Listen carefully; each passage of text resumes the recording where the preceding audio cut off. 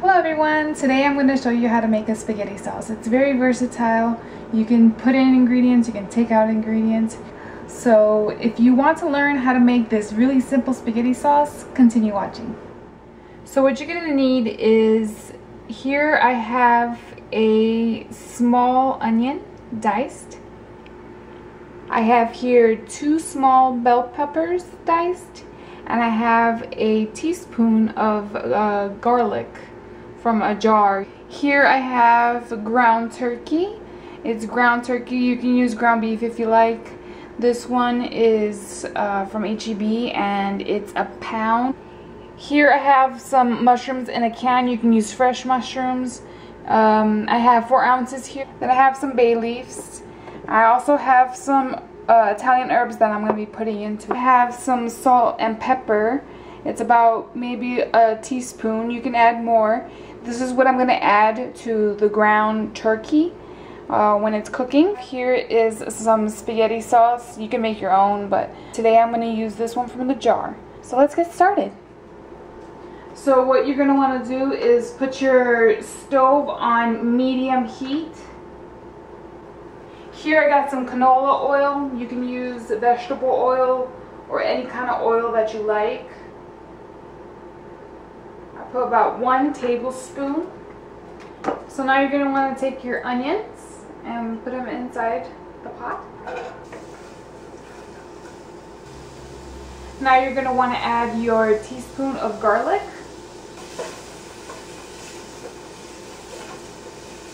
And add your ground beef or ground turkey at this moment.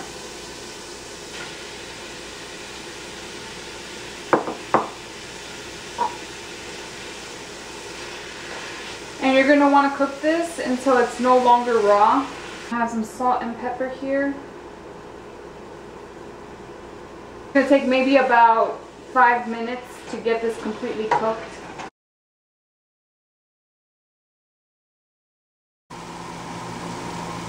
And this is what you're going to be left if you're cooking with the ground turkey. With ground beef, you're going to have to make sure the meat's slightly browned.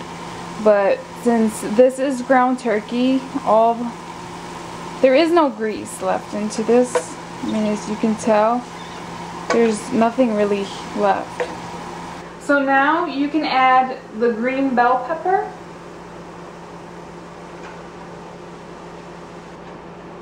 If you had any other ingredients that you would like to add to the sauce right now, just like uh, you would use zucchini or you would use any other kind of um, vegetable, you would put it in right now.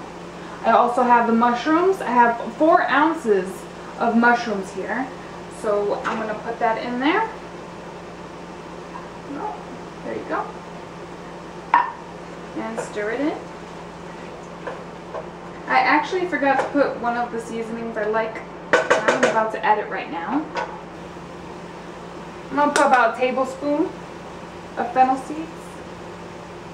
This gives it a really strong aroma.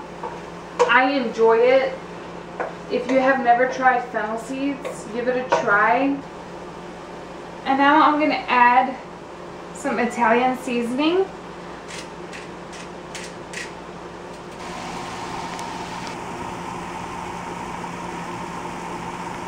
And now we're ready for the pasta sauce. So just add your sauce in. And what I usually do is I take a little bit water and rinse all of the sauce out of the jar. So that's what I'm going to do.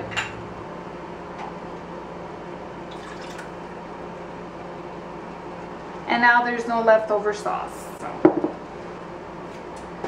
And now what I'm going to do is add two bay leaves in the sauce. When it's actually finished cooking, I'll just pick them out. That way nobody gets to eat a bay leaf. Nobody wants that, so I'll just stir that in. I mean, seriously, that looks really good.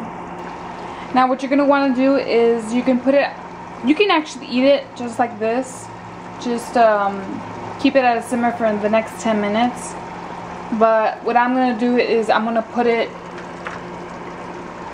to simmer for the next 20 to 30 minutes and then I'm gonna be ready to eat. Make sure you put a cover on it and it'll be done.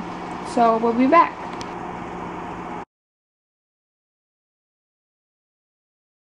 It's all done, complete, looks really good. Now let's try it out. It is hot though.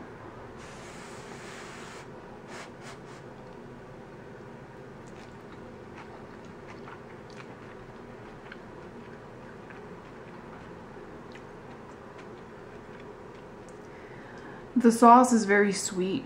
Uh, it's it's really good. The squash, I like it. It's it has this um, texture of also sweetness and uh, a bit of a crunch. It's really good. Um, the only thing I would probably have with this is a jalapeno since I like spicy food. But other than that, it's really good. Well, I hope you enjoyed this video. If you have any questions or comments, leave them down below. And please subscribe and give me a thumbs up if you liked this video. I'll see you next time. Bye.